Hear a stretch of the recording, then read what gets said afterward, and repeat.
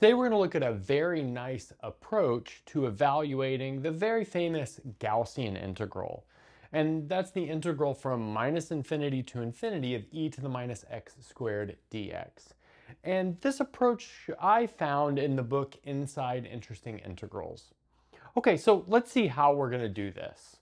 The trick that we'll use here is to involve two related functions.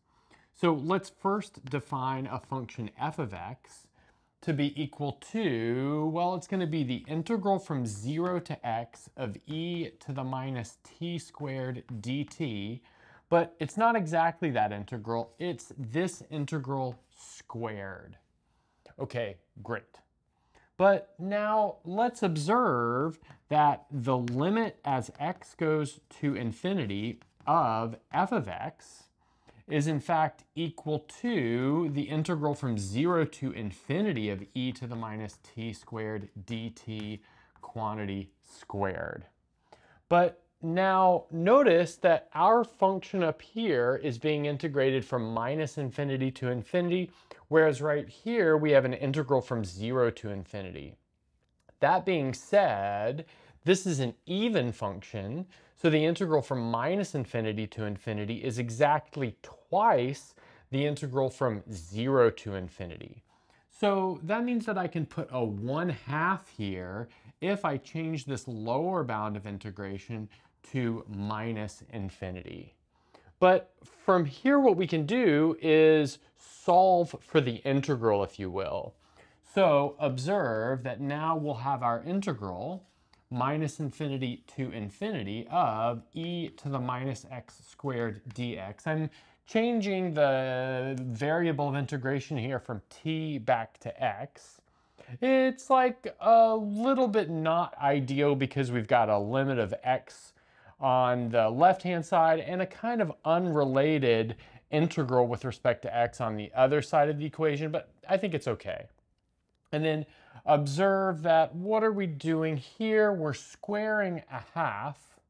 So that squaring a half will turn into a 4 over here. But then we're also going to have to take a square root. So that means we really have 2 and then the limit as x goes to infinity of f of x, and then we're taking the square root of that.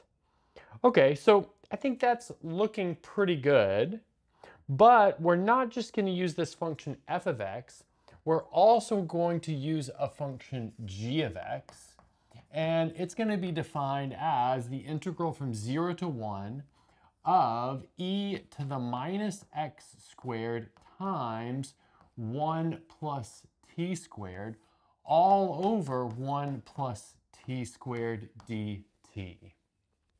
So that's definitely a crazy looking function, but this function, well, along with the function f of x are really key to this approach. Okay, so now what we're gonna do is take the derivative of both of these functions. So let's first take f prime. Observe that in order to take the derivative of f, we have to use both the chain rule because we're taking a function and squaring it, as well as the fundamental, the fundamental theorem of calculus part two. So in the end, that's gonna give us something like this. We'll have two, and then e to the minus x squared, and then the integral from 0 to x of e to the minus t squared dt. So of course, 2 times that integral is from the power rule. This 2 is coming down. And then the e to the minus x squared is from the integral of the inside function. Okay, nice. But now let's take g prime as well. So observe that g prime of x well, notice that x is not a variable of integration inside of the function g, so we simply have to use the chain rule on that numerator. But now observe that using the chain rule on that numerator will bring a 1 minus t squared or a 1 plus t squared out. That'll cancel the 1 plus t squared in the denominator, leaving us with the integral from 0 to 1 of minus 2 times x times e to the minus x squared times 1 plus t squared dt. Okay, so I think that's looking pretty good, but I'm gonna do a little bit of manipulation here. So let's look at this stuff that I'm overlining in this peach color and observe that we can rewrite this as e to the minus x squared times e to the minus x times t both squared. So now looking at that, we can factor the e to the minus x squared out. We can also factor this x out, but we won't factor that x out. We'll actually combine it with the dt term. So that'll leave us with minus 2 e to the minus x squared. And now we have the integral from 0 to 1 of e to the minus xt all squared times x dt. Okay, great. But now that motivates a change of variables for our integration. In other words, a substitution. And so the substitution that we'll use here will be u equals x times t. But now that's going to make du equal to x dt. But observe that here we've got our u term, this x times t, and then this is simply our du term, this x dt. And then, well, what about the bounds of integration? Well, observe that when t is zero, u is also zero, but when t is one, uh, u is equal to x. So that's gonna give us, well, what? Minus two times e to the minus x squared times the integral from zero to x of e e to the minus u squared du. Okay, great. But now let's look closely at what we have.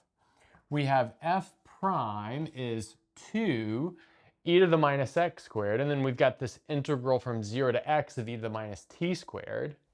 And then we also have this g prime, which is suspiciously very similar. Notice it's minus 2 e to the minus x squared, and then the same integral, but with a different integration variable, but that's okay because that's just a dummy variable of integration.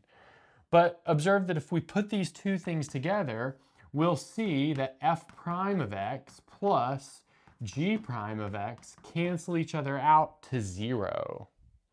But, well, what does that mean? Well, that means that the derivative with respect to x of f of x plus g of x is equal to zero by the linearity of the derivative. But if you take the derivative of something and you end up with zero, that means that the something, in this case, f of x plus g of x, is equal to a constant. But what constant? Well, it's really any value of the function. So we might as well take a value of the function that's easy to calculate. Perhaps we'll take the value at zero. So we need f of zero, but looking over here, f of zero is the integral from zero to zero of something squared, but the integral from zero to zero is zero. So f of zero doesn't contribute anything. And then g of zero, we'll observe that plugging x equals zero into g will give us the integral from zero to one of one over one plus t squared. So this is going to be equal to, like I said, g of 0, but I'll write that as the integral from 0 to 1 of dt over 1 plus t squared. But that's an easy integral to calculate as pi over 4. Okay, so now let's maybe build a summary of what we've got so far, and then we'll finish off the last couple of steps. So to evaluate our integral, we were using the following two accessory functions, or we explored those accessory functions so far. And we determined that the sum of these functions was a constant, and we calculated that constant to be pi over 4.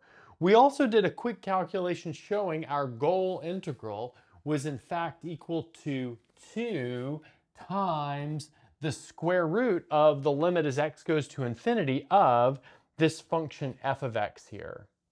So at this point, what I'm gonna do is, well, one of a mathematician's favorite tricks, and that is add the number zero, but we'll add the number zero in the form of g of x minus g of x.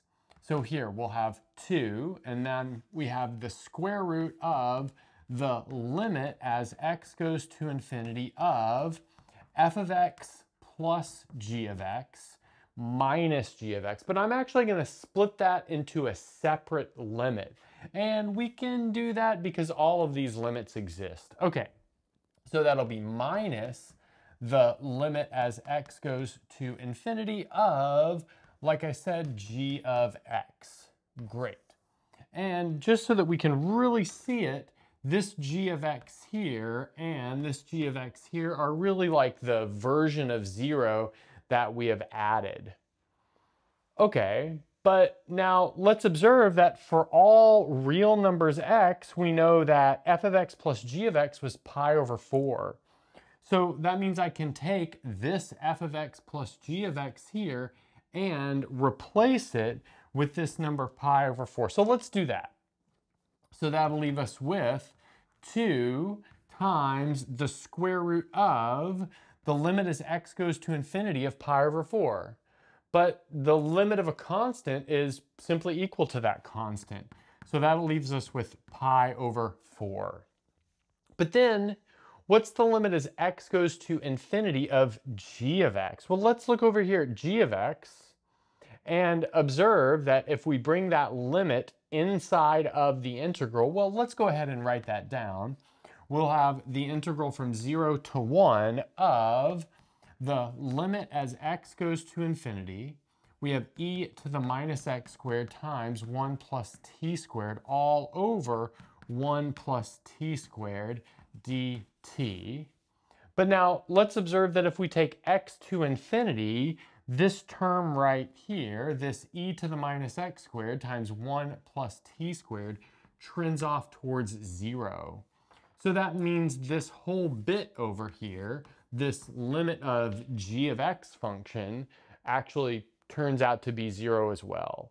So that means we're left with 2 times the square root of pi over 4.